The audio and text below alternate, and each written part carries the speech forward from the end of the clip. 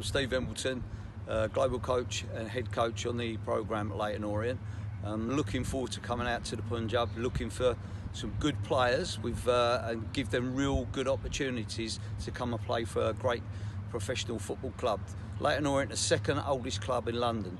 Uh, so not only will you have the experience of training with professional players and the youth team, but also have the chance to visit London, which is a great city. Really looking to see you all soon.